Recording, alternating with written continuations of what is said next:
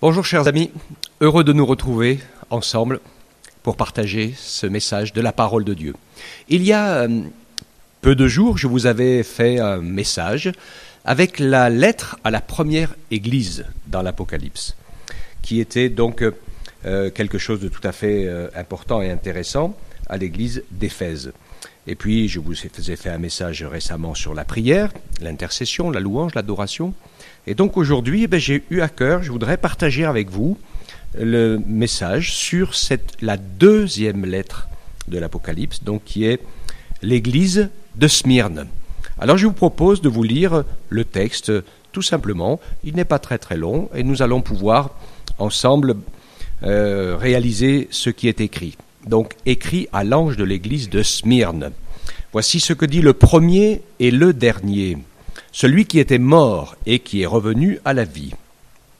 Je connais ta tribulation et ta pauvreté, et pourtant tu es riche. Et les calomnies de ceux qui se disent juifs et ne le sont pas, mais qui sont une synagogue de Satan. Ne crains pas ce que tu vas souffrir. Voici que le diable va jeter quelques-uns d'entre vous en prison, afin que vous soyez éprouvés, et vous aurez une tribulation de dix jours. Sois fidèle jusqu'à la mort, et je te donnerai la couronne de vie. Que celui qui a des oreilles écoute ce que l'Esprit dit aux églises. Le vainqueur ne sera point touché par la seconde mort. Nous découvrons que cette deuxième lettre, qui correspond à la deuxième période de l'histoire de l'Église, c'est la période de la persécution de l'Église la période de la plus grande persécution. Pendant quelques siècles, jusqu'à l'effondrement de l'Empire romain, la persécution a atteint des degrés au-delà parfois de toute mesure, avec le massacre de centaines et de milliers de chrétiens. Les histoires de martyrs et les listes sont, bien sûr immenses.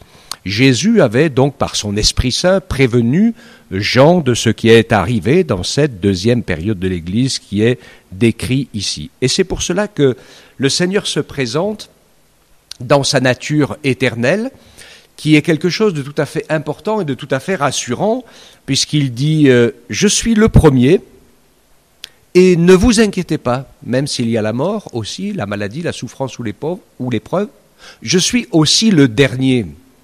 Je serai là avant vous et je serai là avec vous et je serai là toujours avec vous. Donc il va donner quelques éléments, les éléments qui vont dans le sens de la, de la persécution. Le Seigneur va donc introduire son message directement par l'assurance de la résurrection des morts. Il dit, le premier et le dernier, il dit celui qui était mort, Jésus bien sûr, qui a été mis à mort et crucifié, et celui qui est revenu à la vie, il est le premier d'entre les morts, le ressuscité et vivant pour toujours.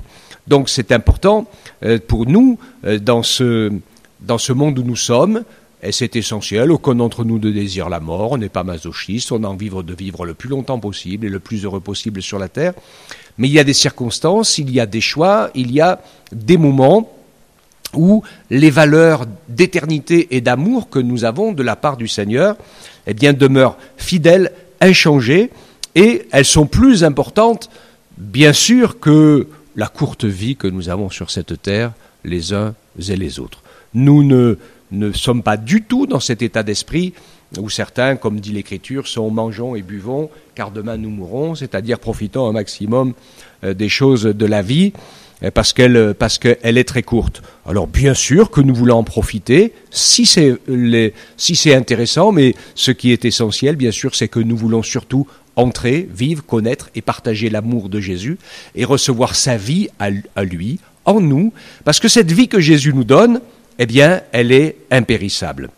Nous savons que la première arme de l'adversaire, avec la puissance euh, qui va se manifester contre l'Église pour éviter que les hommes et les femmes connaissent Dieu, soient pardonnés de leurs péchés et soient sauvés, donc il va essayer de faire taire les chrétiens et les disciples.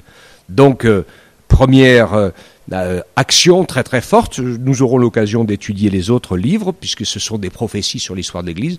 Nous verrons que comme la persécution ne marche pas, et que le sang des martyrs a été la semence de l'Église, puisque plus on les a persécutés, plus se sont multipliés.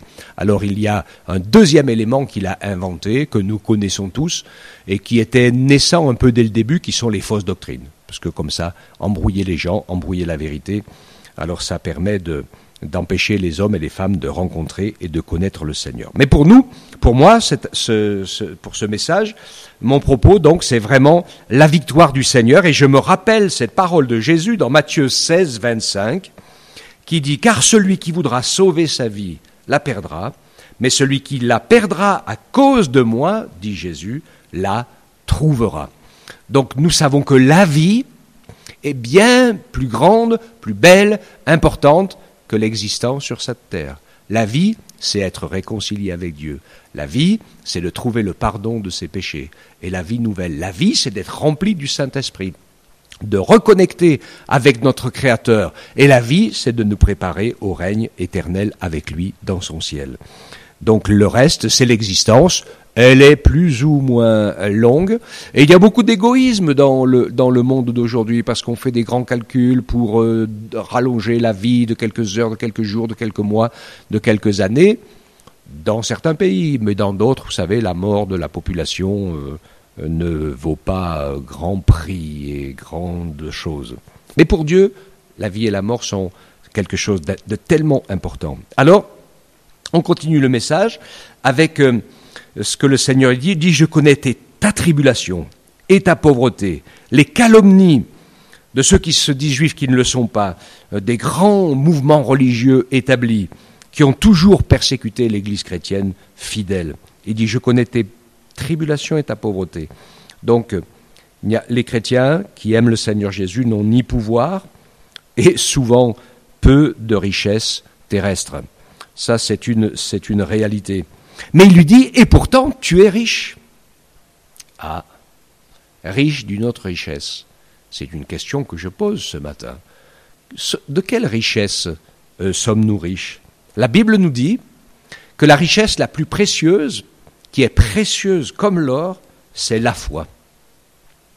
La foi au sens biblique du terme, c'est pas simplement croire qu'il y a sûrement quelque chose autour de nous, au-dessus de nous qui existe. La foi, c'est de croire au Seigneur de faire confiance au Seigneur et de marcher avec le Seigneur et de le laisser vivre en nous par son esprit. Donc, cette Église, elle a la foi, et je pense que ça c'est quelque chose de, vraiment essentiel. Je me rappelle un jour euh, d'une histoire euh, d'un homme qui faisait un commentaire sur Pierre et Jean quand ils ont guéri le paralytique à la porte du temple et euh, où Pierre est arrivé vers cet homme et lui disait Je n'ai ni argent ni or. Et cet homme religieux lui disait Oh ben ça a bien changé. Parce que nous, euh, maintenant, euh, nous en avons de l'argent et de l'or. Et son collègue lui a répondu Oui, mais nous sommes incapables de dire au paralytique Lève-toi et marche. Et donc la vraie richesse, elle est dans le fait de vivre avec Jésus, dans une vraie relation intime et personnelle, chaque jour ça, c'est la plus grande des richesses. Le pardon de nos péchés, la guérison de nos cœurs, de nos âmes et de nos corps. Et puis, la vie éternelle, que nous ne méritons aucunement, personne, mais que Jésus vient déposer dans notre cœur si nous le lui demandons. Nous voyons donc ces calomnies qui sont faites contre les chrétiens fidèles à la parole de Dieu. Mais il dit, ne crains pas ce que tu vas souffrir. Il dit, tu auras ils vont être jetés en prison, etc. Vous, serez éprouvés, vous aurez une tribulation de dix jours. Vous savez, la parole de Dieu dit mille ans sont comme un jour, un jour sont comme mille ans. Et depuis deux mille ans que l'Église existe, il y a eu pratiquement mille années de persécution sans relâche contre les chrétiens. Mais Dieu veille sur son Église, Dieu veille sur ses enfants, et il les garde afin que nous soyons les témoins fidèles jusqu'à euh, son retour. Tous ceux qui aspirent, et les puissances de ce monde qui aspirent euh, à, la force, à la domination, ils ne supportent pas l'idée du pouvoir de Dieu sur euh, cette terre. Et, mais nous aimons le pouvoir de Jésus. Et c'est pour ça que les chrétiens sont souvent les plus persécutés, surtout dans les régimes totalitaires. C'est toujours un signe. Quand le régime s'approche du totalitarisme, alors les chrétiens fidèles se retrouvent persécutés. Jésus lui donne un conseil et l'encourage. Et il lui dit, sois fidèle jusqu'à la mort, et je te donnerai la couronne de vie. Le premier martyr de la foi chrétienne s'appelle Étienne. Il a été lapidé par les religieux de son temps. Et quand il, est mort, eh bien, il a été fidèle jusqu'à la mort. Et au moment de sa mort, où il était euh, tué à coups de pierre, il a vu le ciel s'ouvrir pour l'accueillir. Et il s'est mis à prier pour le pardon des péchés de ses persécuteurs, en leur disant Seigneur, ne leur impute pas ce péché. Et l'organisateur de la lapidation, c'était un fameux Saul de Tarse. Oh, vous le connaissez tous. C'est l'apôtre Paul. Quelque temps après, l'Esprit de Dieu l'a rencontré, l'a touché, l'a renversé et lui a montré que celui qu'il combattait était vraiment la vérité. Alors l'apôtre Saul de Tarse s'est converti, il a rencontré Jésus, il l'a suivi, il est devenu l'apôtre Paul. Et c'est vrai que au cours de nombreux siècles de persécution, beaucoup de persécuteurs se sont convertis à Jésus. Et c'est pour cela que tous les disciples de Jésus sont des gens non violents. C'est intéressant à, remarquer parce que vous avez la possibilité de suivre avec la porte ouverte l'échelle des persécutions des chrétiens qui va en montant de manière vertigineuse d'année en année et qui parle partout dans tous les pays de tous les chrétiens qui sont, qui sont persécutés. Et je suis franchement, franchement étonné parce que les chrétiens fidèles à Jésus sont des gens qui n'ont jamais pris les armes, qui ont toujours prié et béni pour leurs persécuteurs, qui ne veulent de mal à personne, qui prient pour leurs autorités, qui prient pour le bien du pays, comme la Bible nous l'a dit, et qui espèrent que les hommes et les femmes euh, vont marcher de manière raisonnable, mais qui n'obligent personne, même si on ne marche pas de manière raisonnable. Et pourtant, c'est eux les plus persécutés. C'est curieux quand même, parce que c'est peut-être plus facile de taper sur les plus faibles. Enfin bon, c'est comme ça, ça c'est mon commentaire. Jésus a dit, vous serez mes témoins. Alors je sais que beaucoup de, chrétiens dans nos pays libres, occidentaux, euh, sont, encouragés, disent oui, oui, oui, je veux être témoin de Jésus. Alors on oublie un peu, hein, parce que comme je vous ai parlé du baptême et d'autres mots, le mot, témoin, euh, c'est un mot traduit du, du grec, et dans l'origine, ce mot, c'est martyr. Alors pour nous, chrétiens, témoin, c'est une chose, martyr, c'est une autre chose. Mais dans la Bible, les deux mots sont les mêmes mots. En fait, vous serez mes témoins, vous serez mes martyrs. Ça voulait dire, ben, vous serez prêts à souffrir pour moi. Donc, euh, c'est tellement important pour nous de pouvoir euh, avoir cette, fidélité au Seigneur, parce que nous le savons, une fois que Jésus a pardonné nos péchés, qu'il nous a sauvés, qu'il a inscrit notre nom dans le livre de vie, qu'est-ce que vous voulez que la mort physique nous fasse? L'apôtre Paul le disait à un moment donné, il dit je, je préférerais partir avec le Seigneur, mais je sais que Dieu a encore besoin de moi sur cette terre. Et donc on est là, on est là avec joie, mais on sait que quand c'est l'heure et que le Seigneur permet que nous le rejoignions, alors sa volonté euh, est, bonne, euh, elle est essentielle. Et beaucoup de gens s'accrochent à la vie, mais c'est parfois même plus, c'est parfois même plus une vie. L'apôtre Paul le disait, il disait notre être extérieur se détériore. Euh, il y a des gens très âgés, vous le savez comme moi, on est capable de leur donner des soins incroyables, mais on ne sait même plus s'ils vivent ou ils existent. C'est plus que des plantes, des légumes. C'est bizarre aujourd'hui. On a, une drôle de, notion de, euh, de, la vie. Le Seigneur veut qu'on puisse être dans ses bras, fidèles et marcher avec lui. En conclusion, j'aimerais terminer par ces paroles essentielles du Seigneur Jésus qui nous dit que celui qui a des oreilles écoute ce que l'Esprit dit aux églises. Le vainqueur ne sera point touché par la seconde mort. Tiens, la Bible parle clairement d'un thème curieux qu'elle appelle la seconde mort.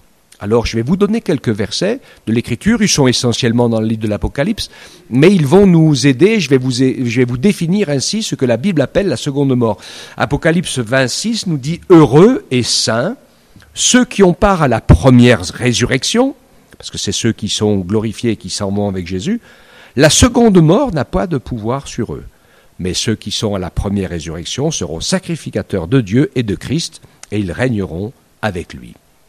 Livre de l'Apocalypse, toujours chapitre 20, le verset 14, nous parle du jugement dernier, euh, qui est le, les temps de feu, et il dit, puis la mort physique, celle qu'on connaît, la, la mort physique, celle qui est l'arrêt de la vie du corps. Mais c'est pas l'arrêt de la vie de l'âme ni de l'esprit. Hein. C'est juste l'arrêt de la vie de la vie, de la vie du corps qui s'appelle la mort. Et puis donc quand on arrive au jugement dernier, il dit la mort et le séjour des morts furent jetés dans l'étang de feu. C'est la seconde mort, l'étang de feu. L'étang de feu, que la Bible a défini comme la seconde mort, c'est l'endroit où vont tous ceux qui sont séparés de Dieu pour l'éternité parce qu'ils n'ont pas voulu de lui, de son pardon, de son salut et de son amour. C'est la mort spirituelle, l'existence sans Dieu, dans les ténèbres, dans la détresse et dans les regrets et l'amertume éternelle. Apocalypse 21, 8, mais pour les lâches, les incrédules, les abominables, les meurtriers, les débauchés, les magiciens, les idolâtres et tous les menteurs, leur part sera dans l'état ardent de feu et de soufre, ce qui est la seconde mort. Alors je sais que beaucoup de gens n'aiment pas trop quand on soulève ce message, je vais vous dire franchement une chose.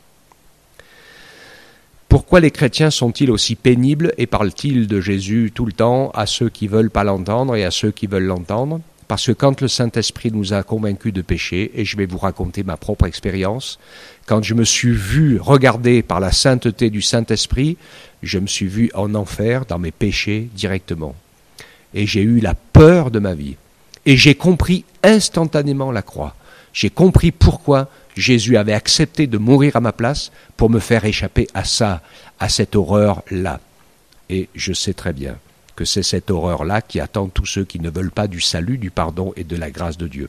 Et c'est pour ça que nous insistons pour annoncer la bonne nouvelle de l'Évangile, qui fait que le Seigneur ne tient pas compte de notre ignorance, de nos temps anciens, mais qu'il veut bien, pour tous ceux qui se donnent à lui et qui lui demandent pardon, nous donner un cœur nouveau, une vie nouvelle, et nous racheter pour nous faire échapper à la seconde mort tout le monde le sait, euh, les gens le racontent, ceux qui ont vécu des morts cliniques ou autres, ils savent bien que quand le corps s'arrête, on ne meurt pas. Tout le monde le sait cela. Mais où on va Ça, Dieu n'a pas permis qu'on le découvre tant qu'on n'a pas fait le choix définitif au fond de notre conscience, et c'est nous qui allons faire le choix définitif et irrévocable d'accepter Jésus pour notre salut ou pas. Ainsi, cette parole de Dieu, comme beaucoup d'autres, qui fait grincer les dents parce qu'elle est, c'est une réalité, en fait, qui est enfouie au fond de la conscience de tous. C'est une réalité qui est refoulée. Elle remonte à la conscience, très souvent, à l'approche de la mort. Et nous, nous savons, les chrétiens, que c'est la vérité parce que nous l'avons vécu déjà. Nous, sommes, en nous repentant par le Saint-Esprit, nous avons pris conscience de l'état dans lequel nous étions, que la condamnation éternelle pesait sur nous et que nous avions besoin d'un sauveur. Et on continue à annoncer ce message parce que on sait que c'est la réalité, il a changé notre vie et que Jésus nous a sauvés et que même si on fait mourir notre corps, personne ne nous fera changer d'avis parce que c'est la vérité. Nous en sommes convaincus, ce n'est pas une opinion, c'est une expérience et c'est une révélation éternelle. Je voudrais terminer avec un dernier texte, toujours dans l'Apocalypse, au chapitre 6 et au verset 9, euh, qui nous parle de ces moments-là, avant le jugement dernier, le temps de la patience de Dieu.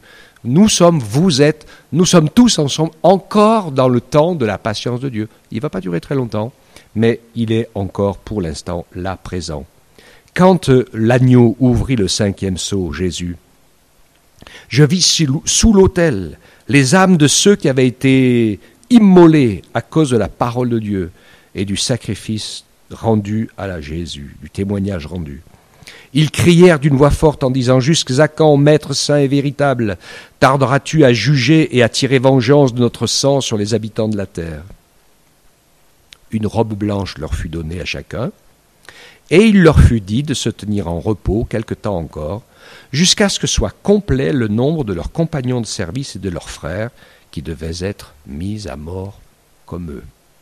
Il y aura encore de nombreuses vies chrétiennes, de justes, pleins d'amour, sacrifiées, avant que Jésus revienne. Bon message pour nous qui connaissons le Seigneur et qui voulons l'aimer, continuons à aimer, continuons à tenir ferme. Pour ceux qui ne le connaissent pas encore, je vous en supplie, comme disait l'apôtre Paul, soyez réconciliés avec Dieu. Il a fait tout ce qu'il fallait pour que ce soit possible. Et c'est pour cela qu'il y aura tant de regrets de l'autre côté quand les hommes tout d'un coup prendront compte que s'ils avaient seulement dit oui à Jésus, alors leur destinée éternelle serait changée. Que Dieu nous aide à être attentifs, que le Seigneur nous aide à comprendre que la vérité de Dieu est une cause plus élevée que toutes les causes qui peuvent, traverser notre existence. Que nous puissions, comme cette Église qui a vécu des temps terribles de persécution, vous avez entendu parler de Blandine et d'autres personnes qu'on a mis à la mort, des gens qu'on a mis dans des piquets enduits de poids pour servir de poteau, pour éclairer Rome, etc. Euh, nous avons vu des choses, nous savons, tout n'est pas raconté, mais quand pendant que les chrétiens mouraient dans l'arène, il y avait des gens du public qui sautaient dans l'arène pour mourir avec eux quand ils voyaient la présence de Dieu, l'amour de Dieu, la vie de Dieu. Parce que dans ces circonstances-là, tout le monde, c'était une évidence que le Seigneur Dieu était là tout-puissant, qu'il était au-dessus de la vie des hommes. Vous savez, elle est bien courte, notre vie. Et un jour, eh bien, il nous faudra rendre compte à notre Créateur. Mais bien aimés, soyons attentifs vous qui écoutez cette parole, soyez attentifs à la grâce de Dieu, à l'amour de Dieu. Un jour, celui qui est le Sauveur apparaîtra pour le, pour le jugement. Il sera le juste juge des vivants et des morts, et tout le monde devra rendre compte de ce qu'a été notre vie devant lui. Que Dieu nous fasse la grâce de pouvoir marcher avec lui dans la fidélité jour après jour. Et nous découvrirons que certains symptômes de ce temps de l'Église de persécution, de ce deuxième temps, c'était tout au début, euh, environ de l'an 100 jusqu'en 300 euh, euh, et des poussières, quand l'Empire romain est tombé. Et puis après, ça a continué, ça a repris, puis les guerres de religion, et puis ça a toujours été conduit comme ça, à tel point que les gens aujourd'hui, et je le sais, certains athées ou autres disent, wow, si on pouvait éradiquer les religions de la planète, ça arrêterait toutes les guerres. Ben, je peux vous promettre que non. Parce que celui qui est le maître de la guerre et de l'autodestruction des hommes, c'est le diable. Et la plus grande bataille, elle se passe dans les religions parce que c'est la bataille pour annoncer la vérité. Mais même sans religion, il y a plein d'autres batailles pour que les hommes s'entretuent et qu'ils soient perdus. L'adversaire a un grand nombre de cordes à son arc la seule chose qu'il veut, c'est que les gens n'entendent pas parler de Jésus, ne le rencontrent pas et ne fassent pas la paix avec Dieu. C'est la seule chose qu'il veut. Le reste, autrement, il continuera son travail d'autodestruction qu'il a semé au milieu de nous. Donc, mes chers amis, soyons clairvoyants, ouvrons les yeux et regardons où nous en sommes et prenons conscience. Comme Jésus l'a dit, je suis le chemin, la vérité et la vie, disait Jésus, et nul ne vient au Père que par moi. Il n'y a de salut en aucun autre, car il n'y a sous le ciel aucun autre nom qui ait été donné parmi les hommes par lequel nous puissions être sauvés, et ce nom, c'est le nom de Jésus. Rencontrez-le tous, connaissez-le tous, aimez-le tous, et servez-le tous de tout votre cœur. Que Dieu vous bénisse. Amen. Merci Seigneur pour ta parole. Elle est incroyablement vraie, d'actualité. Nous nous attendons à toi, Seigneur.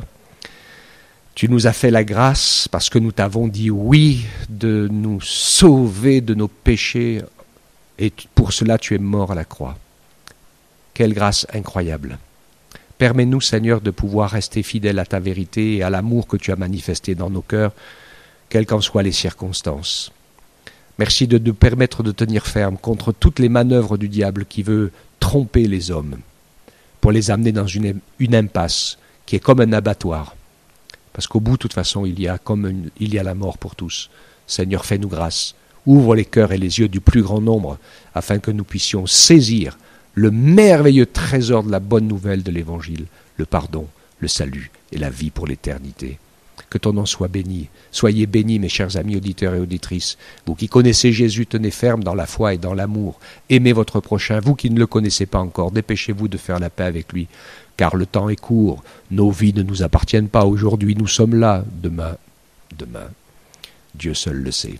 Que Dieu vous bénisse tous et à très bientôt. Amen.